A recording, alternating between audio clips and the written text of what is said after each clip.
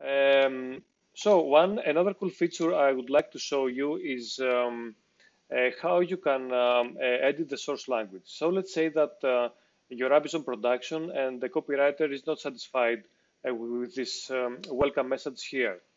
Um, so what can you do about it? Um, you can go to the source language, uh, select the, the string, and let's say change it to something else.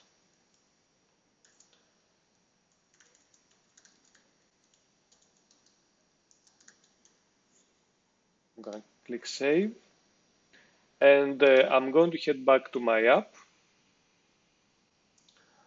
Um, so uh, CDS, the service that caches uh, the content, uh, is uh, updating uh, the cache every hour. So if I want to um, update it um, and see the changes earlier than that, I need to invalidate manually the CDS cache. Okay, I just did that. Uh, let's get back to my app. And as you can see, the welcome message uh, copywriting has changed uh, even uh, in the source language.